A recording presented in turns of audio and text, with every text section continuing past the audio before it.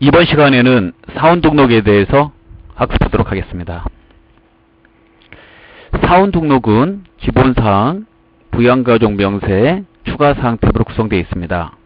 본 메뉴에서 입력된 자료는 온천징수, 근로퇴직 사업, 근로소득 관리의 급여자료 입력, 연말정산 추가자료 입력에 사용됩니다. 입사 시 제출된 주민등록 등본, 가족관계 증명서 등을 참고하여 입력합니다. 프로그램을 보고 설명을 드리도록 하겠습니다.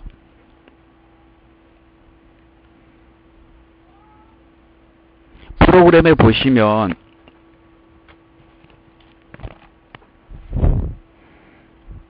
근로소득 관리가 있는데요. 예, 세법상 근로소득이라 하면 일용직 근로소득, 상용직 근로소득을 말하고요. 근로소득 관리 이 메뉴는 상용직 근로자, 상용직 근로자의 메뉴가 되겠습니다. 시험 시에 예, 상용직 근로자 대상으로 사원 등록, 급여자료 입력, 온천징수 이행상황 신고서, 연말정산 추가자료 입력을 통한 근로소득 온천징수 영수증이 시험 범위 해당이 됩니다. 이번 시간에는 어, 사원 등록에 대해서 학습하도록 하겠습니다. 이 사원은 따라서 상용직 직원을 등록하는 것이 되겠습니다. 상용직이라 하면 일용직이 아닌 어, 근로자를 말합니다.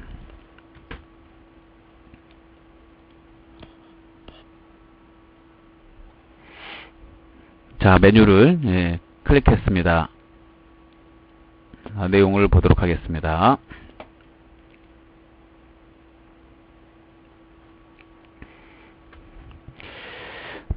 자, 세 개의 탭으로 되어 있습니다. 기본사항, 부양가족 명세, 추가사항.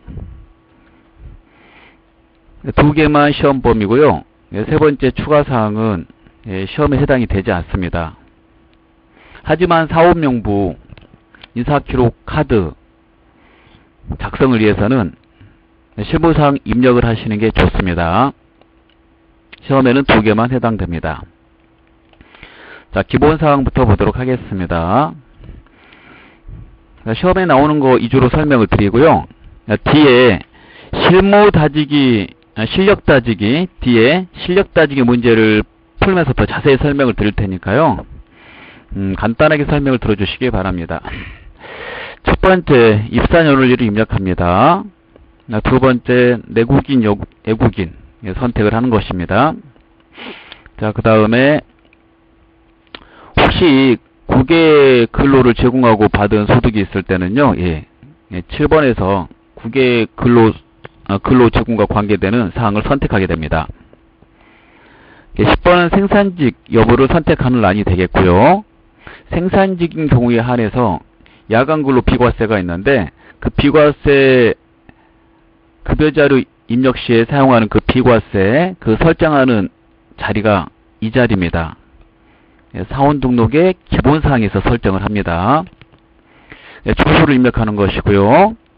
그 다음에 12번, 13번, 14번 이렇게 되어 있는 거는 급여자료 입력할 때 근로자에게 공제해야 되는 어, 보험료, 공단에 신고한 기준소득 오렉, 표준보수 오렉, 그 다음에 보수 오렉을 입력하는 내용이 되겠고요.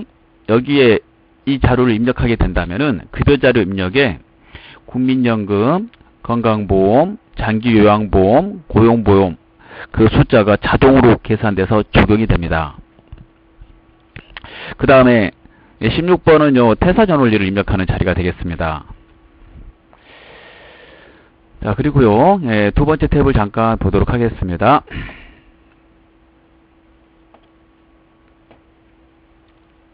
자, 두 번째 탭은 이제 부양가족 명세를 입력하는 탭이 되겠고요.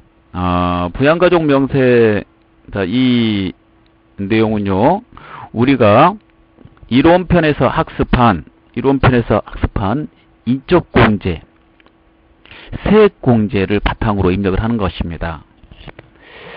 아, 해당되는 이 내용은 우리가 연말정산 시에 근로자가 작성하는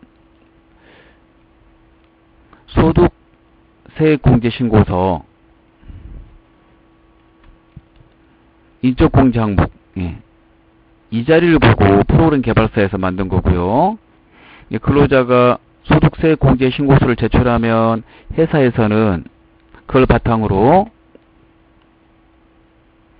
근로소득 원천징수 영수증, 근로소득 지급 명세서를 작성하게 되는데 그리고 연말정산이 끝나면 회사에서는 이걸 근로자한테 예, 발급을 합니다. 거기에 보시면 어, 여기 인적공장부 있죠. 예. 이 내용을 보고 이제 설계를 했고요. 따라서 여기에 있는 내용대로 우리가 입력을 하게 됩니다. 따라서 곧바로 세무 신고하고 예, 관련된 내용에 곧바로 예, 적용이 되는 것이죠. 어찌됐든 간에 말이 길어졌는데요. 문제를 통해서 어, 풀어보도록 하겠습니다. 그리고 더 메뉴를 자세히 배워보도록 하겠습니다. 자 그러면 교재 잠깐 보도록 하겠습니다.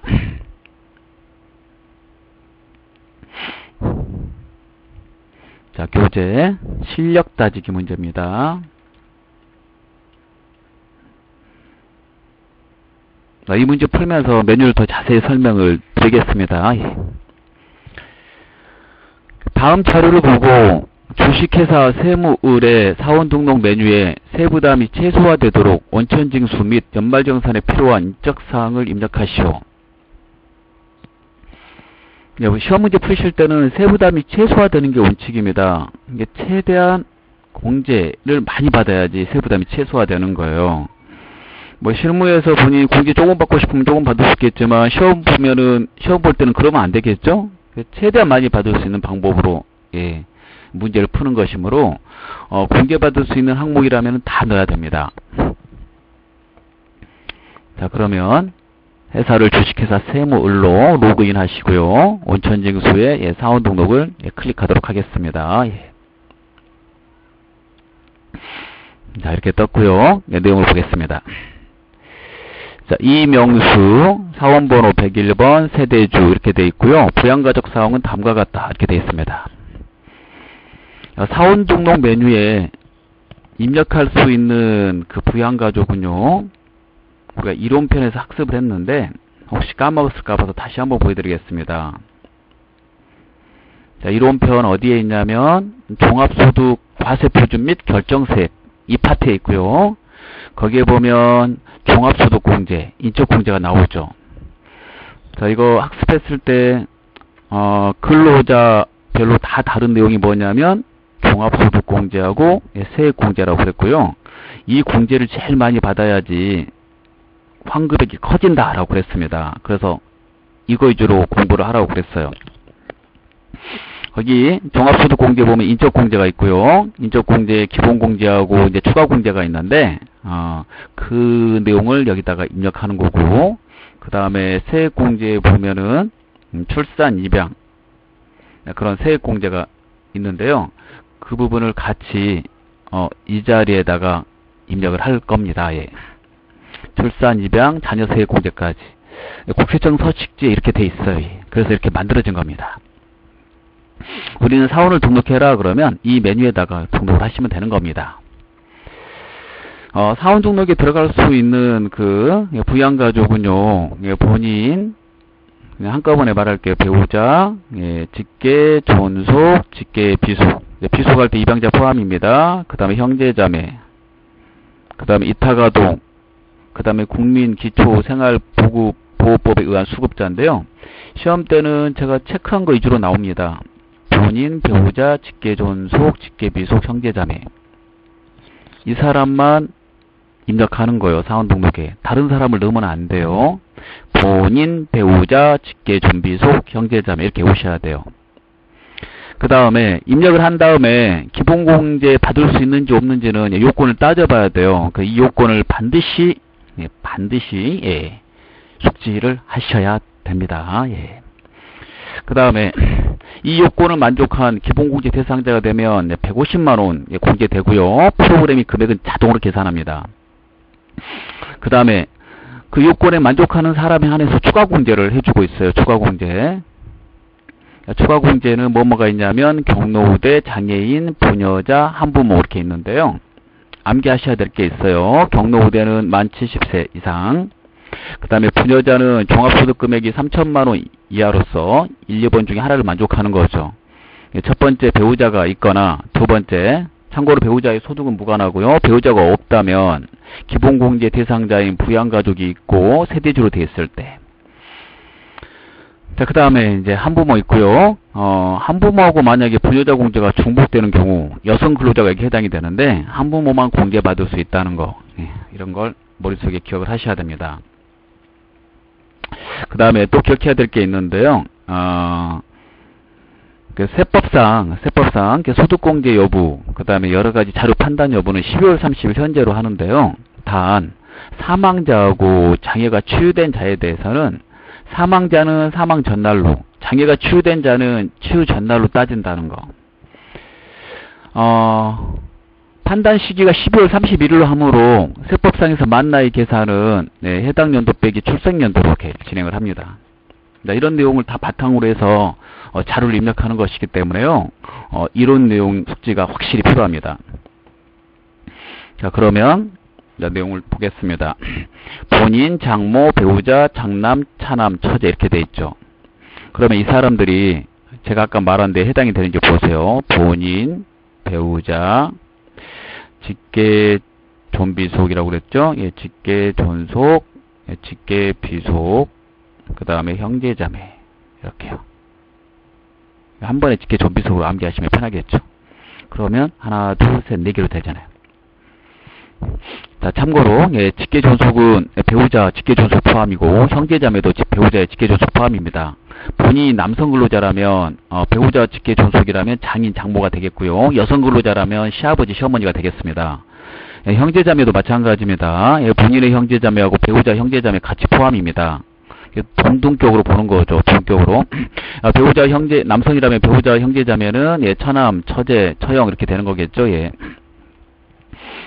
자, 그걸 바탕으로 입력을 합니다. 예, 시험에서 특별히 특별히 어, 언급이 없으면 이렇게 다 넣어주셔야 되고 실무에서는 반드시 이렇게 하셔야 되겠습니다.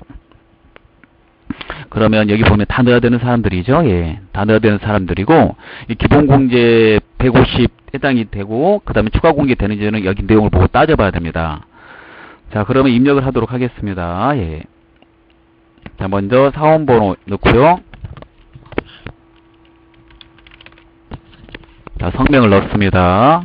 그 다음에 주민번호 제시되면 그대로 입력을 하는 겁니다.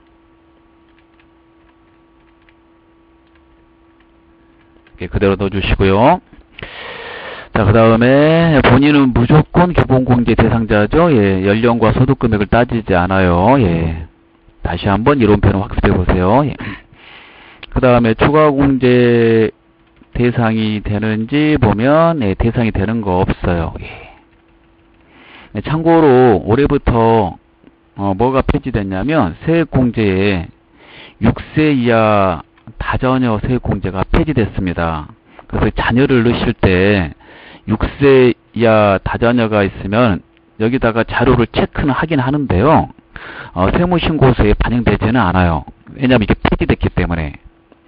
네, 그래서 어, 이 부분이 있는 거는 이제 프로그램 개발사에서 어, 차기의 세법이 또 변경되면 또 나타날 수도 있, 기 때문에 지우지를 않고 그대로 내버려 두겠다라고 말을 하고 있습니다. 그래서 그대로 있는 거고요. 예, 학습할 때는 6세 이하면 그냥 체크하시면 돼요. 근데 그 뒤에 자료에 어디에도 반영이 되지는 않아요. 그냥 사원 등록 메뉴에만 화면에만 이렇게 뜨는 거예요. 뜨는 거. 작년까지는 어떻게 됐냐면 이게 6세 이하 다자녀 세액 공제란에 이렇게 들어가 있었던 거거든요. 예, 그쪽 그쪽으로 세부 자료가 넘어가요. 그래서 지금 현재 6세 이하 이, 자, 어, 이 칸은 아무 의미가 없음. 그냥 6세 이하면 그냥 체크를 하시는 겁니다. 예, 사원 등록 메뉴에만 예, 들어가 있는 거고요. 예, 뒤에 어, 뒤에 연말정산과 관계되는 자료에는 데이터가 넘어가지 않는다는 걸 알아두시면 되겠습니다. 그리고 6세 이하 다자녀 세공제가 폐지됐다는 것. 어, 본인 자신의 그 추가 공제 사항이 없네요. 예, 이렇게 넘어가고. 자, 그러면 이제 배우자부터 이제 볼게요. 아, 본인 됐고 장모님부터 볼게요. 예. 장모님. 예, 장모님 어, 주민번호까지 내 넣어보겠습니다. 예. 예, 장모님을 넣으실 때 연말 관계 번호가 있는데요. 예, 국세청재 서식에 있는 거잖아요. 그래서 그대로 보고 만든 거예요. 예. 아까 보여줬던 소득세 공제 신고서, 그 다음에 근로소득 온천징수 영수증 보이죠? 예, 그거. 거기에 들어있는 그 번호를 따서 프로그램 개발사에서 이제 만든 거예요. 여기 보시면, 여기 밑에 보이죠? 제가. 예. 이거는 이제 소득 세액 공제 신고서고요. 이거는 이제 어, 근로소득 원천징수 영수증. 예. 여기 보시면 근로자가 써온 거 보고 그대로 옮겨 적는 거거든요. 예. 이 부분, 이 부분에 관계 코드 적는 란이 있습니다. 예. 예, 근로자가 아, 소득세 공제 신고서를 작성해서 가지고 오면 이걸 바탕으로 예, 회사에서 경리 담당자는 예, 근로소득 온천징수 영수증, 근로소득 지급명세서를 작성을 해서 세무서에 제출을 하게 됩니다. 자, 그러면 프로그램에서 그냥 보고 하면 돼요. 자, 장모님은 이제 배우자의 직계 존속이겠죠? 그래서 여기다 이 이렇게 넣게 됩니다. 예. 아, 그이 넣고요. 예, 맞죠? 예. 자, 그럼 제가 예, 여러분 교재를 봐주세요. 저도 교재를 보고 예, 입력을 하도록 하겠습니다.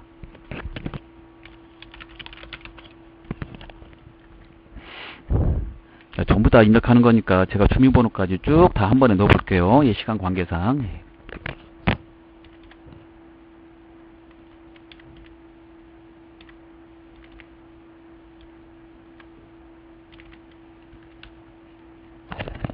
배우자는 밑에 보고 있는 것에 3보로 돼 있어요.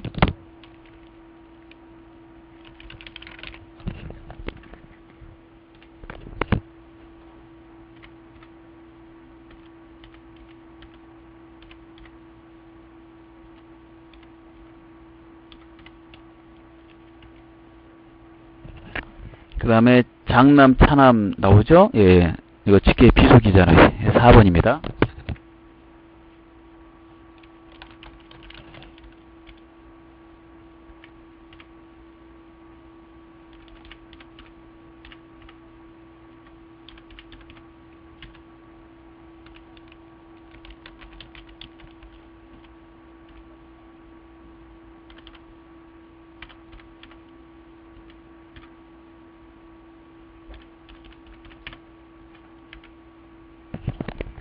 그 다음에 박처제 나오죠.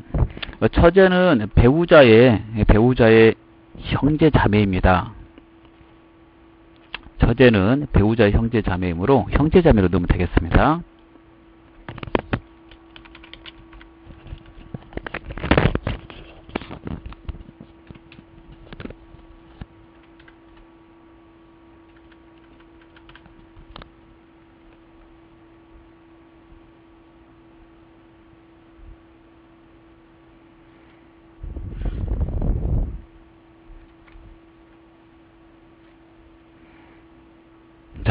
했고요.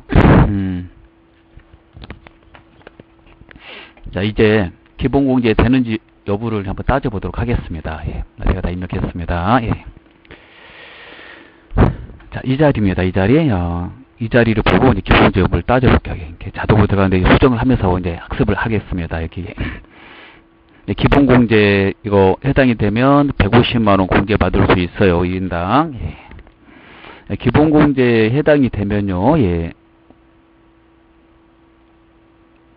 0번이 아닌 걸 고르면 돼요.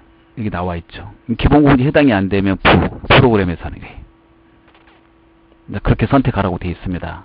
그러면, 어, 150만원 계산해 줍니다.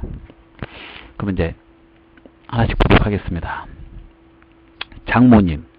직계 존속이죠. 직계 존속은 뭘 따져요? 이걸 계속 장, 당분간만 보여드릴게요. 처음에 많이. 아, 직계 존속은 만 60세 이상이면서 연간 소득 금액이 100만 원 이하 된다. 이렇게 돼 있죠. 예. 연간 소득 금액은 종합소득, 퇴직소득, 양도소득 금액의 합계가 합계 합계를 말하는 것으로서 예, 비과세하고 분리과세를 뺀 걸 말해요. 예. 분리과세 또 숙지가 필요하죠. 분리과세를 꼭 알아두셔야 되겠습니다. 자, 그러면 장모님은 자, 주민번호 넣으면 나이가 자동으로 나와요. 60세 이상이시죠?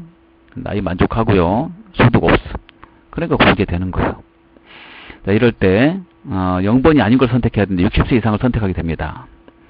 그리고 주민번호 넣으면 나이가 나오다 보니까 추가 공제를 자동으로 이 프로그램이 선택을 해요. 예, 경로우대 선택한 거 보이죠? 예. 예, 경로우대 나이 어르셔야 돼요. 70세. 경로자가 아닙니다. 경로우대입니다. 예, 경로자는 65세 이상을 경로자라고 해요. 혼동하지 않도록 주의하시기 바랍니다. 그 다음에 옆에 프로그램에서는 네, 이탁관계가 있어서요. 이탁관계 넣고 싶으면 F2 이렇게 눌러가지고 넣을 수 있습니다.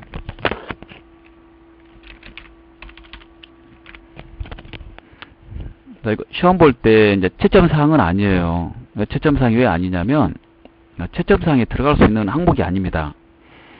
예, 국세청 서식에 보면 여기 보시면 어, 이거거든요, 이거.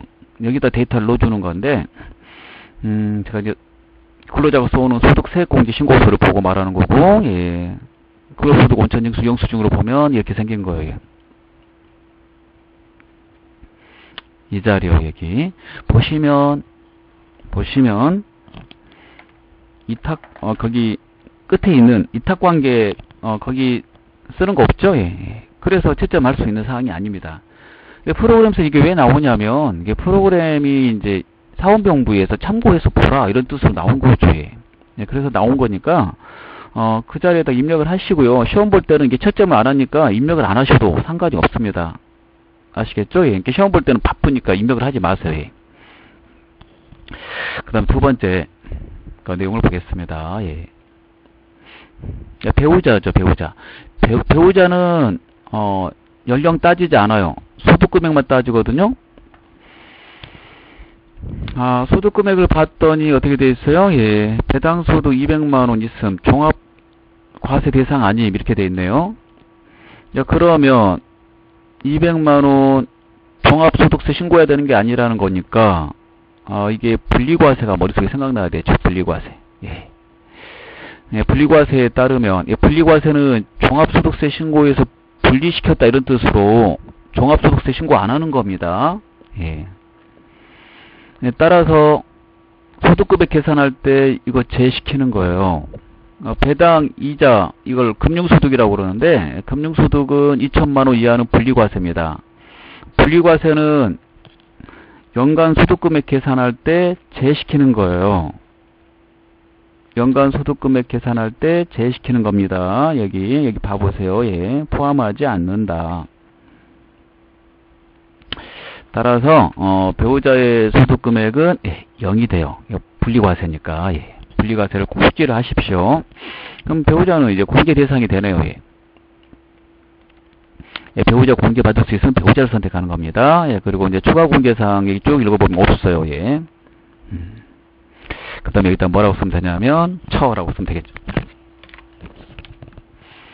그 다음에 장남을 보겠습니다. 장남 나이가 나왔어요. 예, 27세입니다. 자, 장남은 장애인이고 소득이 없다. 대학생이다 이렇게 돼 있어요. 자, 계속 이론표 학습을 좀 하셔야 돼요. 예, 그래서 처음이니까 좀 보여드리고 있습니다. 예, 장남 직계 비속이죠. 예, 직계 비속은 두 가지를 만족해야 되는데 나이가 만 20세 이하이면서 100만 원 이하 됩니다. 근데 지금 장남은 만 20세 이하가 아니잖아요. 근데 하나 참고해야 될 사항이 있어요. 장애인. 장애인의 경우에는 연령에 제한이 없고 소득금액에 제한만 받는다. 연령은 무시하는 거예요. 따라서 거기에 따라서 보면 이 장남, 이 장남은요. 예, 연령은 따지지 않으니까 소득금액만 보는 것이므로 소득이 없잖아요. 예, 공제 대상이라는 걸 알 수 있습니다. 그럼 여기서 골라야 되는데 뭘로 고르면 되냐면요. 여기서 뭘로 고르면 되냐면 예, 고소득이 하나밖에 없죠. 예, 공제받을 수 있는 거 장애인 예, 150만 원 되고요. 예, 프로그램에서 장애인을 고르면 자기가 알아서 장애인 날 이렇게 체크가 돼요. 예. 예, 장애인 세법상 장애인 세 가지입니다. 예, 하나 고르라고 되어 있죠. 예. 밑에 봐보세요. 이장남과 박처제는 예, 장애인이라고 되어 있는데 장애인 복지법상 장애인이다라고 되어 있네요. 예. 그러면 1번 장애인 복지법을 고르게 되고요. 여기다가 예, 잘하고 쓰면 돼요. 이렇게. 기본공제 대상자에 한해서 예, 추가 공제가 되는데요. 그리고 프로그램에서는 이렇게 이제 자녀 세액 공제까지 같이 선택을 해 가는 건데 예, 국세청 서식이 이렇게 돼 있으니까 예. 이 자녀 세액 공제는 자녀라고 무조건 세액 공제 받는 게 아니라 밑에 이렇게 돼 있죠. 예. 기본공제 대상자가 기본공제 대상자 해당이 되면서 20세 이하일 때 자녀세 공개를 받을 수 있어요. 근데 지금 20세 이하가 아니잖아요. 예. 기본공제 대상자는 맞는데 그래서 여기다가 예, 동그라미 하면 안 돼요. 이 프로그램이 알아서 예, 처리를 했죠. 예. 자, 그 다음 거 보겠습니다. 시험 볼 때 밑에 거 보, 보면서 하는 거니까, 예, 상관없어요. 음, 그 다음에 이제 차남이 있고요. 중학생 소득 없음 이렇게 돼 있네요. 그럼 공개되겠죠? 예, 그래서 예, 20세 이하로 얘는 이제 공개되고, 여기다 자, 이렇게 됩니다. 예. 예, 직접 치셔도 돼요, 예. 예. 그 이제 처제가 나왔어요. 예, 처제 장애인. 그런데 처제는 어떻게 되어 있냐면, 어, 종합소득세 신고해야 되는 이자 소득 금액이 300만 원 있다라고 되어 있네요. 그러면 종합소득 금액이 어 지금 100만 원 이하야 되는 건데 연간 소득 금액이 100만 원 이하니까 300만 원이니까 소득 금액에 지금 제한을 받고 있는 거죠. 이게 소득 금액 때문에 처제는 기본공제 받을 수 없어요. 기본공제 받을 수 없는 사람은 이 자리 풀어넣는 겁니다. 그리고 이제 이탁 관계는 처제. 예, 이렇게 직접 치기 싫으시면 F2 눌러서 이렇게 할 수 있어요. 학습할 때는 이렇게 다 끝까지 다 넣을 건데요. 시험 볼 때는 이탁 관계 채점상이 아니므로 제가 넣지 말라고 그랬습니다. 자, 그리고 이제 세대주 이렇게 돼 있고요. 자, 그 다음에, 어, 사무직 입사일. 이걸 안 넣네. 예, 예, 넣겠습니다. 기본 사항에, 예. 2011년, 예, 1월 1일, 예. 그 다음에, 사무직은 어디서 선택하냐면요. 예, 여기, 10번에서 선택을 해요. 예. 생산직 여부에서. 생산직이냐 아니냐 이거죠. 프로 돼 있잖아요. 네, 생산직이 아니라고 돼 있죠. 즉 이게 바로 사무직입니다. 그 기본값이 뭘로 돼 있어요? 예, 사무직으로 돼 있어요. 자, 그 다음에 계속 예, 여기 세대주라고 돼 있는 거 있죠? 예, 기본값이 세대주로 돼 있어요. 부양가족 명세에 있습니다, 여러분. 예. 그래서 여기 이 자리. 그래서 세대주로 나오면 가만히 내버려 두면 돼요. 사무직과 세대주로 나오면 가만히 내버려 두면 된다. 예. 기본값이 이렇게 돼 있으니까 그 확인을 해봐야 돼요. 예. 시험 볼 때는 이걸 미리 입력하는 경우가 있어서 미리 입력되어 있으면 지금은 입력하는 거지만 미리 입력되어 있으면 이게 다르게 돼 있을 수도 있으니까 한번 확인을 해보시기 바랍니다. 이렇게 하면 이제 시험 문제 푼 거예요. 이렇게 하면 예, 이렇게 하면 시험 문제 풀었어요. 시험 문제 푸실 때는 거기에 있는 것만 넣는 것이기 때문에요. 지금 보면 기본사항에서 입사년 올일 있죠. 그 다음에 사무직 있죠. 그 다음에 부양가족 명세로 가서 세대주 이렇게 체크했고요. 나머지 다 집어넣었잖아요. 이렇게. 그 다음에 한 가지 더 설명을 드릴게요. 시험 보실 거에 대비해서. 아, 시험 볼 때, 음, 시험 볼 때, 예. 지금처럼 입력하는 게 원칙인데요. 시험 문제 출제자가 기본 공제 받을 수 없는 사람은 입력하지 말아라.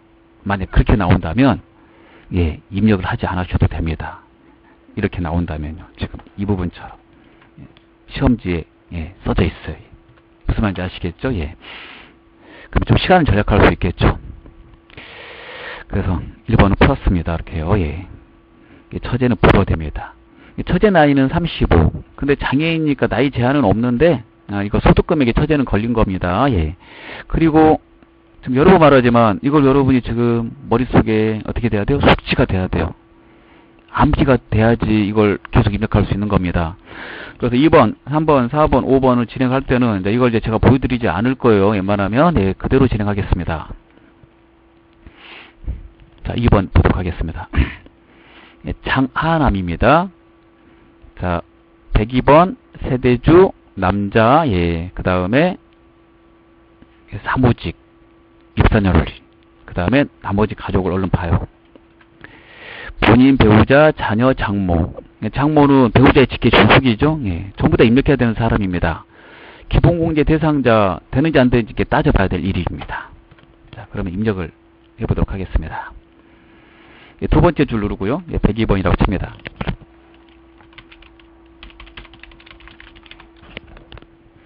자, 주민번호가 제시가 안 됐으므로 예, 넘어가고요. 입사년을 읽을게요. 예, 2015년 예, 1월 1일.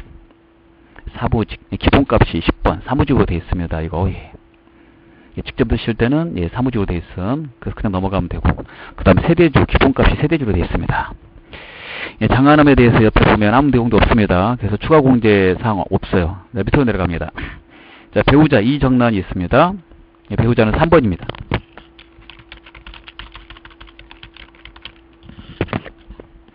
자, 내 국인이고요. 주민번호 없으면 오른쪽 화살표 눌러서 통과합니다. 이 공개받을 수 있는지 없는지 따져보겠습니다. 배우자는 어, 연령에 제한이 없으니까 넘어가고요. 연간 소득 금액이 90만 원이다. 아, 연간 사업 소득 금액이 90만 원이다. 연간 소득 금액이 100만 원 이하면 공개되는 거잖아요. 그래서 이 배우자가 이제 사업을 하나 보죠. 예. 사업 소득 금액이 90만 원 있음 그랬으니까 공개 대상이 맞아요. 네, 이럴 때는 2번 배우자 선택합니다. 자, 본인이 남성이니까 이제 배우자는 여성이 되겠고, 예, 차라고 넣으면 되겠죠. 예, 이렇게. 예, 시험 볼 때 입력하지 않으셔도 되고요. 예, 학습할 때만 하겠습니다. 자, 그 다음에, 예, 자녀가 나오죠. 예, 자녀는 이제 4번입니다. 장길수, 장길수, 예. 주민번호 없고, 21세, 21세, 나이를 만족하지 못하고 있네요. 예, 21세, 20세 이해야 되는데, 예. 대학 휴학, 군입대로 별거, 소득 없음, 소득 없음. 소득은 없어 만족하는데, 아, 지금 21세니까 안 되는 거죠. 그럼 뭐요? F. 잘하고 쓰면 되겠습니다. 또, 그 다음에, 장길규. 내용을 확인해 보겠습니다. 예, 15세 고등학생 소득 없음. 공개되겠죠? 예. 그러면 20세 이하로 공개되는 거죠. 예, 주민번호 안 넣으면 프로그램이 두 개를 자동으로 체크합니다. 예, 20세 이하를 골랐을 때 20세 이하면 자녀 세액 공제, 6세 이하 다자 이렇게 들어가서 고르는 거예요.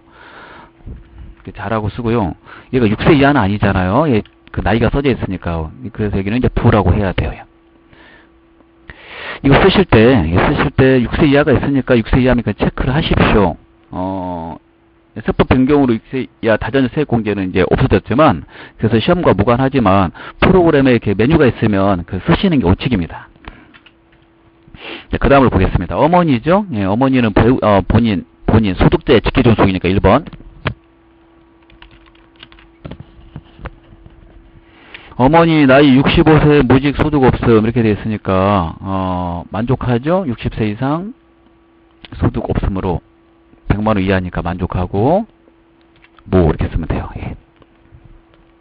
예, 추가 공제사항 없습니다. 경로 우대는 몇 세라고 했어요? 70세 이상이라고 했어요. 예, 장모님 있습니다. 장모님은 이제 배우자의 직계존수니까 2번을 넣으시면 돼요. 예, 장모님 62세 이렇게 돼 있고요. 소득세법상 항시 치료를 요하는 중증 환자다 이렇게 돼 있어요. 이게 소득세법에서 예, 장애인으로 해주는 겁니다. 장애인 예.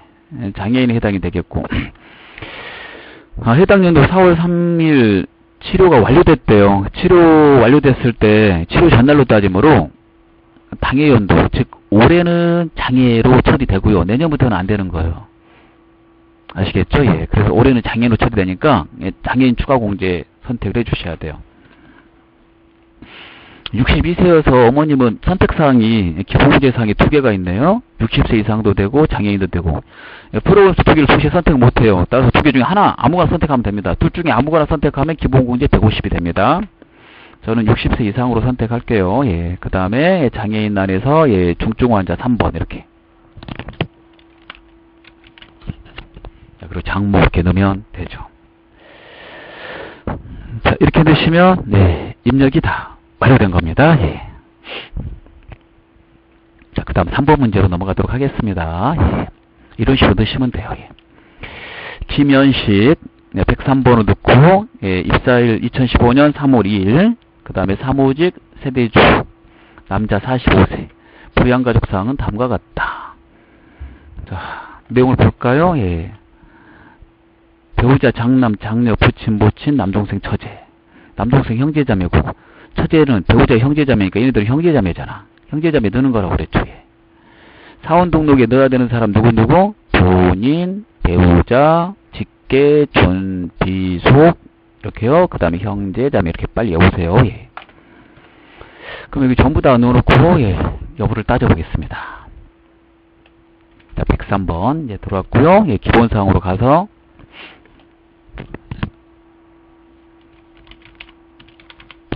자, 김현식 넣고 주민번호 없습니까? 생략하고요. 예, 입사일 넣겠습니다. 입사일 2015년 3월 2일. 그 다음에 사무직이니까 기본값 10번 예, 그대로 쓰시면 되고 부양가정 명세 세대주라고 되어 있으니까 그대로 쓰시면 되겠습니다. 그 다음에 나머지 보겠습니다. 본인의 추가 공제 사항은 없어요. 예, 아무것도 없어서. 예, 첫 번째 배우자 3번.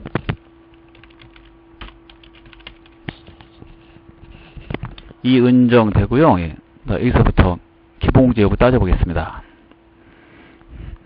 배우자는 나이를 안 봐요. 예, 그 다음에 급여 총액이 330만원 있다. 이렇게 돼 있네요. 급여가 나오면 근로소득입니다. 근로소득만 있을 경우, 근로소득만 있을 경우, 자, 우리가 이론편 다시 한번 보여주고 있습니다. 총급여로 나올 때는 500만원 이하까지 공제되고요. 그 다음에 근로소득 금액으로 나올 때는 150만원까지 공제됩니다. 총급여 150만원일 때 근로소득 공제가 얼마 되냐면 70%니까 이게 350만원이거든요. 이걸 빼면 150만원이에요. 소득 금액이. 근로소득만 있을 때는 그 근로소득 금액이 150만원까지 공제된다라고 되어 있으므로 이게 100만원 이하 적용을 받지 않고 150만원 적용을 받게 됩니다. 근로소득만 있을 때 지금 배우자가 근로소득만 있잖아요. 따라서 지금 공제 대상이에요. 그래서 급여 총액으로 나오거나 총급여로 나오거나 근로소득 급여로 나오니까 그 숫자를 외워놓으세요. 500만원, 150만원 공제되니까 배우자 자, 철하고 넣으면 되겠죠. 그 다음에 장남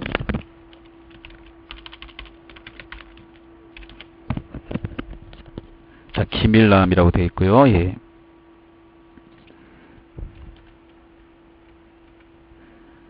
(18세) 고등학생 일용 근로자로서 일당 10만 원씩 60일간 소득이 있어 이건 뭐예요 분리과세죠 분리과세 분리과세 예, 분리과세 외우셔야 돼요 일단 제가 분리과세 몇 개만 좀 말해 볼게요 예 시험에 많이 나오는 거 예. 책에 다 있어요 이론편에 여러 곳에 있을 거예요 예. 실무편에도 위에 있잖아요. 첫 번째 금융소득 이자하고 배당이죠. 금융소득 얼마까지가 불리과세요? 2천만 원 이하. 2천만 원 이하.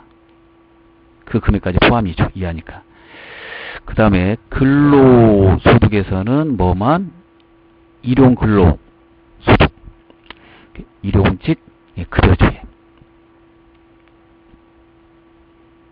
여기에 해당이 되죠. 분리과세. 예. 그 다음에 기타 소득. 기타 소득. 무조건 분리과세 되는 거, 복권 당첨 같은 거. 무조건. 예, 복권 당첨 좀 생각하시면 되고요. 복권. 그 다음에 선택하는 거 있죠. 선택적 분리과세. 예, 기타 소득 금액. 금액입니다. 예, 300만원 이하. 300만원 예, 이하. 이렇게 좀 외우셔야 돼요.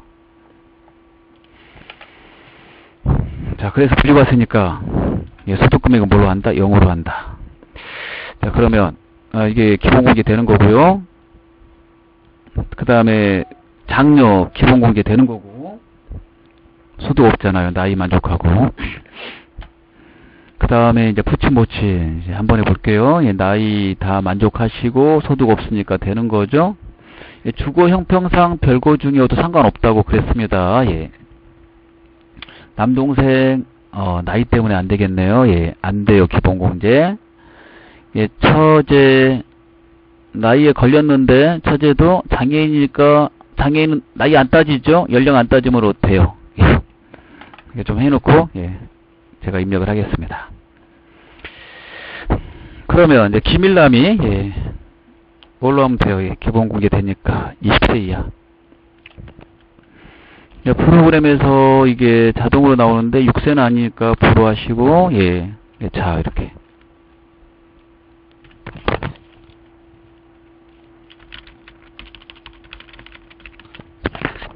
자, 김일순 20세 이하 예, 두 개 동시에 나오는데 어, 자녀 세액공제는 맞아요. 예, 6세 이하 해당 사항 없으므로 예, 없애버리시고 자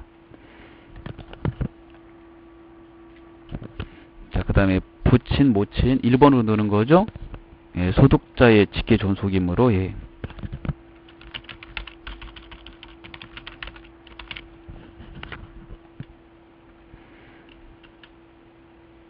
자, 60세 이상이시고요. 예, 주민번호 안 넣으면 예, 경로우대인데 경로우대가 안 나와요. 예, 경로우대 체크하셔야 돼요.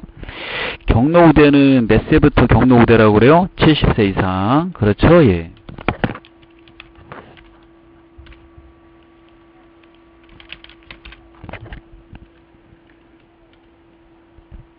자, 그 다음에, 모친입니다. 예. 모친도 똑같죠. 예. 60세 이상 선택하시고, 경로 우대 70세니까 70세부터거든요. 예. 뭐라고 쓰시고요. 그 다음에 남동생은 형제자매니까 6번 아,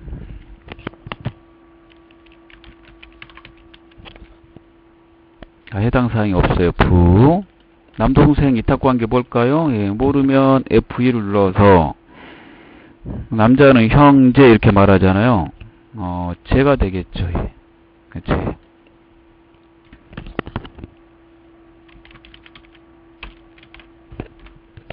그 다음에 다시 한번 6번 이은미 어, 연령을 만족하지 못하는데 어, 장애인의 연령을 따지지 않는다고 그랬으니까 장애인이죠. 예. 기본 공제되고 그 장애인 복지법이니까 1번 맞고요. 여기에다 처지 이렇게 하시면 네, 입력을 완료했습니다. 예. 이렇게 가시는 거예요. 이렇게 가는 겁니다. 자, 이번에는 김성실. 네 번째 사업. 자, 입사일, 주민번호 넣을 거고요. 예, 그 다음에 생산직이라고 돼 있네요. 이번에는 좀 주의하시고, 예, 그 다음에 세대주 이렇게 돼 있습니다. 뭘로 돼 있어요? 생산직. 그 다음에 여성 근로자잖아요. 예, 여성 근로자, 부녀자, 부녀자 추가 공제 때문에 종합소득 금액이 제시됐어요. 종합소득 금액 3천만 원 이하다. 자, 그러면 먼저 104번 기본사항으로 놓고 예.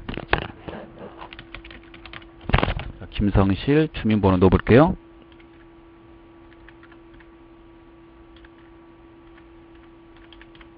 이렇게 하시고 자, 입사일을 넣어요. 자료가 뭐 주소까지 나오면 주소 다 넣고 그러는 겁니다. 이번에 이제 생산직 여부에 여라고 해야 돼요. 생산직 여부에 뭐, 여, 이렇게, 이렇게, 바꿨어요. 예. 그 다음에 세대주로 되어 있는 건 내부로 두시고, 그 다음에 본인의 부녀자, 여기, 부녀자, 예, 추가 공개되는지 확인하는 거죠. 여성 근로자만 예, 부녀자 추가 공제는 되는 겁니다. 자, 추가 공제 한번 읽어볼게요. 어, 종합소득 금액이 3천만 원 이하야 되고 배우자가 있거나 배우자가 없는 여성인 경우에는 배우자가 없는 여성이라 하면 결혼을 안 했거나 사별했거나 이혼했거나 뭐 이러겠죠. 기본공제 대상자인 부양가족이 있고 본인이 세대주로 돼 있어야 돼요. 여성 근로자 나오면 약간 어, 신경 써야 돼요. 왜 그러냐면 부녀자 때문에 그렇죠. 부녀자. 지금 배우자 나부실 있죠? 예. 그러니까 부녀자 공제 추가 공제가 됐어요. 예. 그래서 부녀자 추가 공제가 됨. 이렇게 체크하고 넘어간다는 거. 여성은 항상 이 부녀자를 생각해 보셔야 됩니다. 예, 본인 기준으로 생각하는 거예요. 모든 것 본인 기준으로. 본인 기준으로 생각하니까 본인의 형제자매 이렇게 말을 할 때 누군지 생각이 아시죠? 예. 계속 내용을 보겠습니다. 예. 자, 배우자, 장남, 차남, 차녀, 아버지, 어머니니까 다 넣어야 될 사람이네요. 그렇죠? 예. 다 넣어야 될 사람이고. 자, 기본 공제 되는지 안 되는지는 옆에 따져봐야 돼요. 150만원 받을 수 있는지 없는지. 예, 배우자는 연령 안 따지고, 예, 소득 금액만 따지는데, 복권에 당첨됐네요. 예. 이건 뭐예요? 무조건 분리과세. 여기죠. 따라서 분리과세는 연간 소득 금액에서 예, 제시키는 것이므로 포함하지 않으므로 0. 이혼 소송 중 지금 이혼이 된 건 아니죠? 그러니까 공개됩니다. 예, 12월 30일 상황에 따른다 그러는데 12월 30일 현재 이혼이 됐다면은 공제받을 수 없는데 그러지 않잖아요, 지금. 예. 공제 대상입니다. 나머지도 또 한 번에 빨리 볼게요. 예, 장남 되겠죠? 예, 연령과 소득 금액 만족, 차남도 되고, 예, 차녀도 되네요. 이게 차녀는 입양했는데요. 예, 입양. 입양하면 출산, 입양 세액 공제가 있어요. 예, 거기에다 체크할 거고요. 아버지 되고요. 아버지는 72세니까 경로우대 되겠네요. 어머니도 되겠네요. 예. 어머니는 64세인데 장애인이시고 사망하셨대요. 그러니까 장애인 추가 공제 되고 사망자는 어떻게 해요? 사망 전날로 따져요. 그러면 8월 19일로 따지는 거고 8월 19일로 따지기 때문에 8월 19일 현재 살아 계셨잖아요. 그래서 사망자가 당해 연도에 올해 하루라도 살았으면 올해는 구제됩니다. 요건 만족하면 내년에는 안 되죠. 장애인도 올해 장애가 치유됐다. 그러면 장애 치유 전날로 따지므로 하루라도 장애인이었다면 올해 장애인으로 처리하고 내년에는 처리 안 하고 그렇게 하셔야 된다는 거. 그리고 주의하시기 바랍니다. 예. 그 숙지에서 이제 넣으면 돼요. 예. 넣어보겠습니다.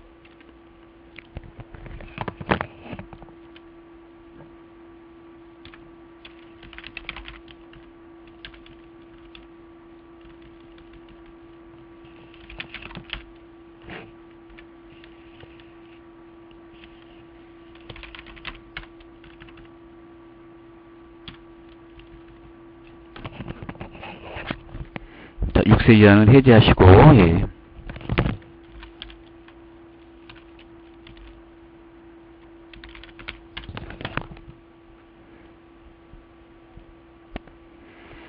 육세 이하 해제하고, 예.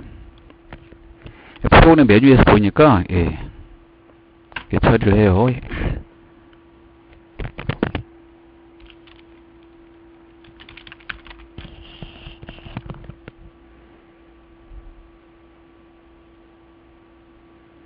그 나영이 주의 깊게 봅니다. 예, 5세 입양했죠. 입양했을 때 그게 첫째냐, 둘째냐, 셋째냐 이렇게 고르라고 프로그램이 업그레이드가 됐거든요. 예. 음, 작년까지는 이게 이제 오 여부였어요. 근데 이렇게 되니까 여기에 맞춰서 쓰면 돼요. 예. 그래서 첫째, 둘째, 셋째일 때 그 세액 공제가 달라요. 예. 프로그램이 그걸 자동으로 계산해서 소식에다 집어넣으려고 이렇게 만든 예, 기능입니다. 나오면 이렇게 3번 하면 돼요. 예. 자, 그 다음에, 아버지, 어머니 넣을게요.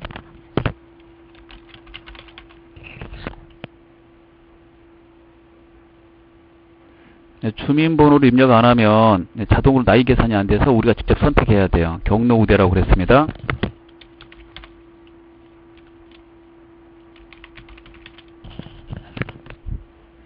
어머님은 이제 두 가지로 고를 수 있어요. 60세 이상 고를 수도 있고 장애인도 고를 수 있습니다. 예, 둘 중에 하나를 고르시면 돼요. 예. 전 60세 이상 하겠, 하겠습니다. 아, 장애인의 예, 선택을 해주시고 이렇게 자 이렇게 처리를 했습니다. 예. 그래서 이렇게 됐어요. 자, 그 다음 자, 마지막 사원입니다. 자, 이번에 최지영입니다. 최지영 4번, 105번 아, 이번에 뭘로 되어 있냐면 세대원으로 되어 있네요. 예. 그럼 세대주를 세대원으로 바꾸면 되겠죠? 예, 종합소득금액 3천만원 이하 자 본인이 어, 여성이네요. 여기 보니까 여성이죠. 예. 그래서 이게 나온 것 같아요. 예, 부녀자 때문에 예. 생산직 장애 2급 이렇게 되어 있네요. 어, 추가 공제 장애인 추가 공제 되고 그 다음에 배우자가 있죠 이동건 배우자의 소득 금액을 따지지 않은 것이므로 이거 볼, 어, 보지 않아도 배우자가 있으니까 부녀자 돼요. 두 개의 공제 받아요 추가 공제로 뭐하고 뭘 받아요? 예, 부녀자하고 예, 장애인을 받는다 이거죠. 그 다음에 배우자 아들, 딸, 동생, 할, 할머니, 아버지 이게 다 넣을 수 있는 거예요. 할머니 직계 존속입니다, 여러분. 예. 자, 그러면 이제 마지막으로 넣어보겠습니다. 예.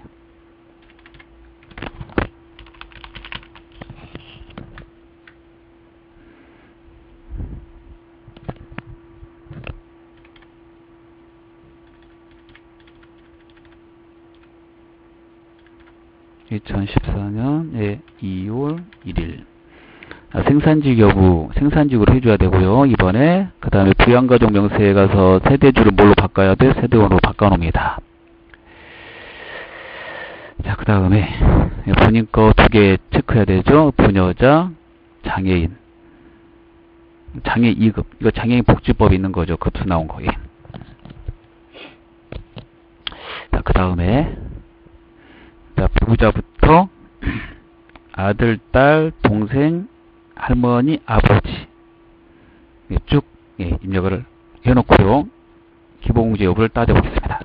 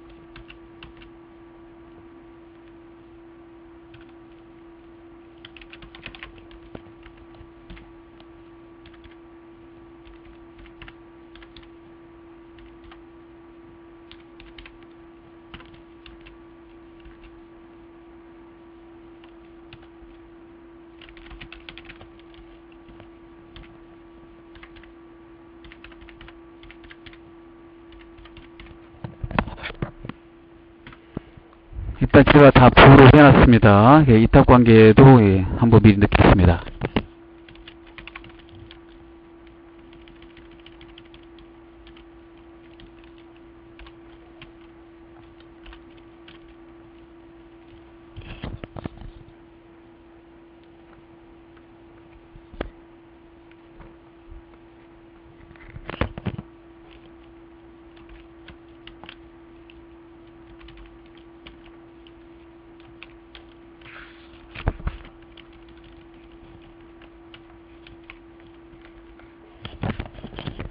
자, 본인 여성 근로자입니다. 여성 근로자. 어, 동생 채민이 그 주민번호 그 여덟 번째 자리가 2죠? 그러면 여성이잖아요. 예. 그래서 본인이 여성이고 자기 어 동생이니까 여동생이잖아요. 그래서 매, 그 다음에 할머니는 조모입니다. 하나씩 보고 따져보겠습니다. 첫 번째 이제 배우자. 배우자는 나이를 보지 않아요.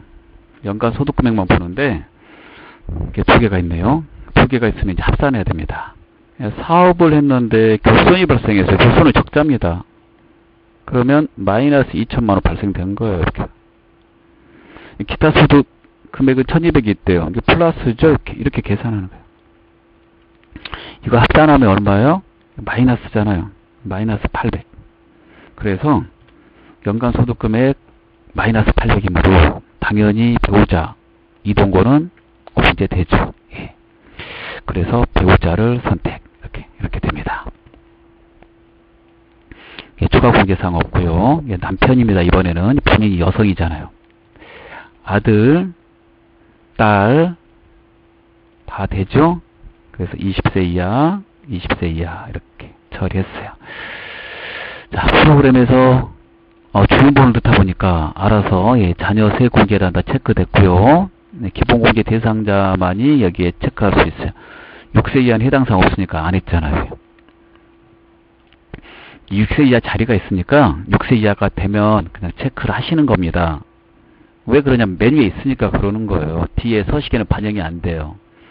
따라서 세무신고하고 전혀 관계가 없어요. 세무신고하고는 이게 무관합니다. 이게 프로그램 메뉴에 있으니까 그냥 처리하는 겁니다. 여러분. 나오니까 그대로 하시면 돼요.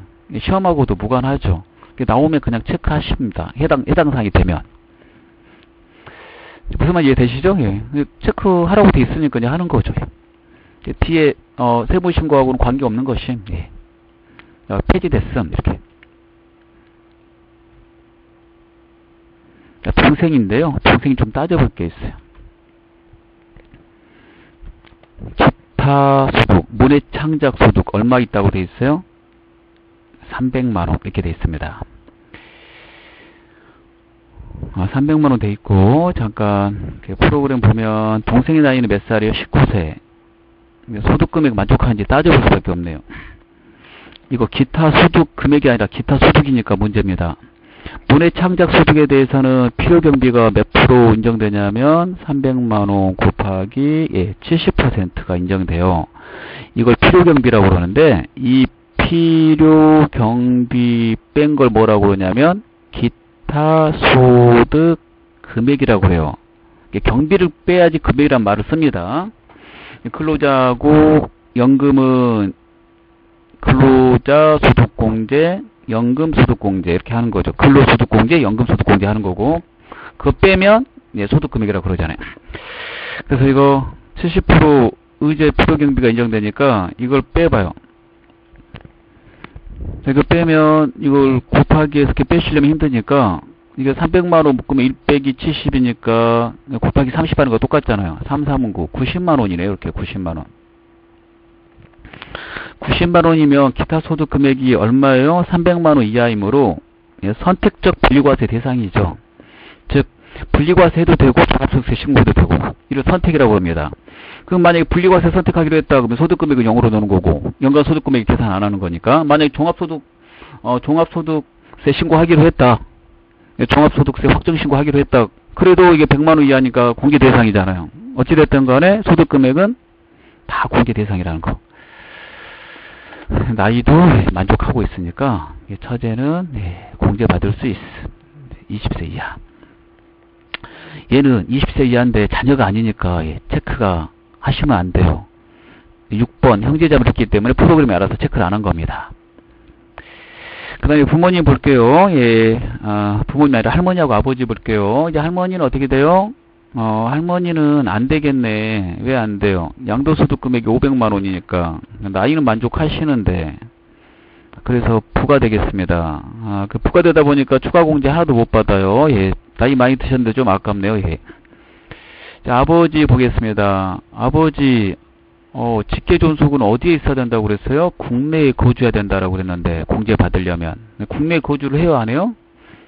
미국에 거주한다. 이렇게 돼 있으니까 거주하지 않은 거죠. 그러니까 아버지도 공제받을 수 없겠는데요. 그러면 다 완료하고 나니까 이렇게 돼요. 자, 그래서 예, 사원 등록과 관계되는 이제 세법사항을 좀 이제 설명을 드리면 이제 올해부터 6세 이하 다자녀 세액 공제는 폐지됐는데 프로그램에서 이게 나타나고 있는 거고 나타나고 있으면 그대로 6세 이하면 체크를 하는 것이다. 뒤에 어, 우리가 세무 신고하는 것과는 관계가 없다. 자, 그렇게 좀 예, 설명을 들을 수 있겠고요. 예. 그리고 시험 볼때 어, 이탁 관계는 입력하지 않아도 상관없다. 아, 그리고 추가 사항은 시험 범위가 아니다. 이런 겁니다. 그 다음에 소득세 적용률이 이제 책에 나와 있는데요. 소득세 적용을 받고자 하는 사원을 체크하고 하는 건데 이거는 급여자를 입력할 때 사용할 거예요. 예, 상용직 직원은 그 급여자를 입력할 때 그 세금을 이제 떼는데 그 세금을 100% 뗄지 어, 80% 뗄지 120% 뗄지를 선택할 수 있습니다. 거기에 반영되는 겁니다. 상용직 근로자는 예, 근로 소득 간이세액표라고 국세청 홈페이지에 있는데요. 그걸 보고 떼도록 되어 있습니다. 예, 거기 거기 있는 그 소득세, 예, 급여자리 입력기 그 소득세 그 반영할 때 180, 120 중에서 어떤 걸 하고 싶을지를 어, 체크를 할 때 사원등록에서 예, 세팅을 합니다. 예. 아까 말한 대로 예. 어, 급여자를 입력할 때 야간 근로 생산직 근로자는 아, 요건 만족하면 비과세 혜택 주는데 그 야간 근로 비과세 여부 체크 여부를 여기 사원 등록에서 해요. 예. 사원 등록에서 이런 걸 작업을 한다는 것을 알고 있어야 되겠습니다. 그 다음에 또 한 가지 추가 사항에 학자금 상환 공제 여부가 있는데요. 이것도 급여자료 입력에 이제 메뉴가 뜰 텐데 기본값이 프로 돼 있어요. 학자금 상환 받았다면 여기 여로 해 주셔야 되고 그럴 때만 급여자료 입력이 나타납니다. 해당 내용은 그대자리 입력할 때 설명을 드리도록 하겠습니다. 이상 여기까지 해서 예, 학습을 마치도록 하겠습니다. 예, 감사합니다.